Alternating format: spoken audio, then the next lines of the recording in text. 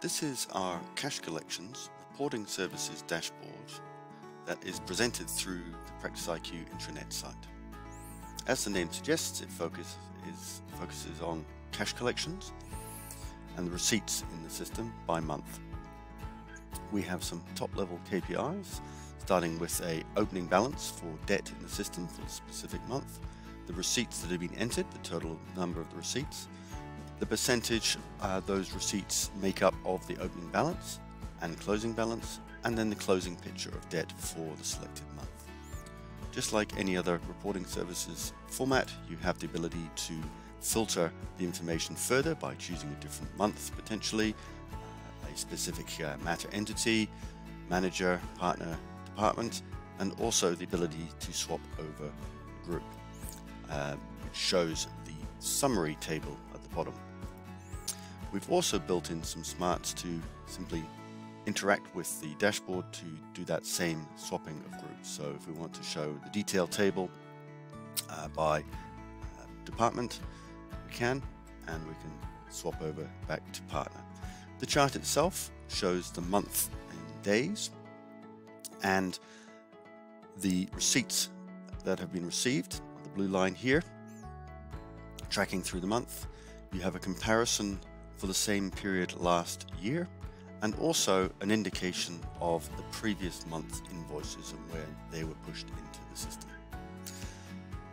So this is our cash collections reporting services format, focusing in on receipts for specific months.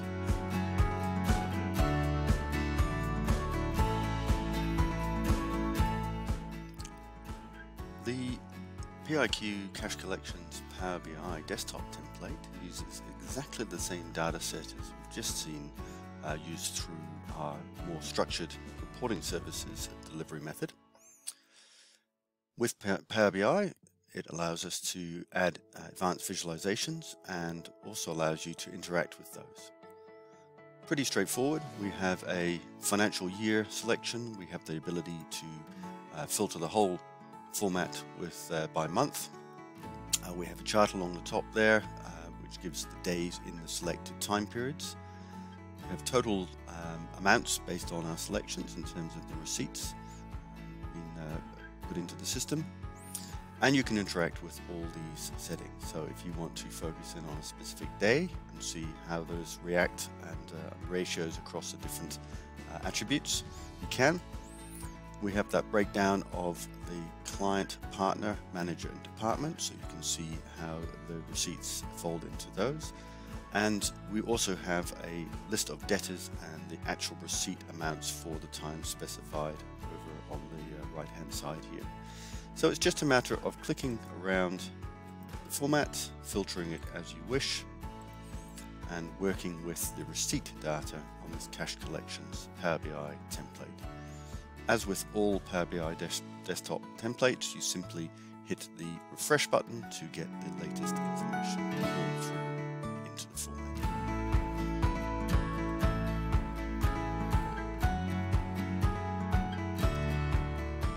Using the PIQ Excel template for cash collections, you have access to exactly the same information as you've just seen through reporting services and the Power BI offerings um, but it allows you to uh, interact with the data in this pivot form.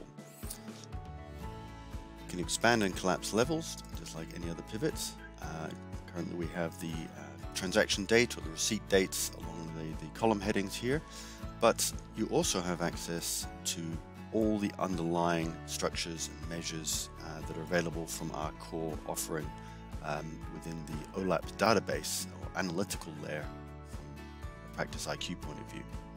So you can do things like add cash dates, for example, onto the columns.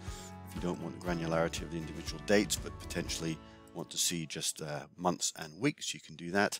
You can also slice and dice by any of the attributes in the system, whether they be client attributes, matter attributes, or debtor attributes, and so on. And of course, you can add in additional measures and calculations as you wish, which just like any other Practice IQ Excel template.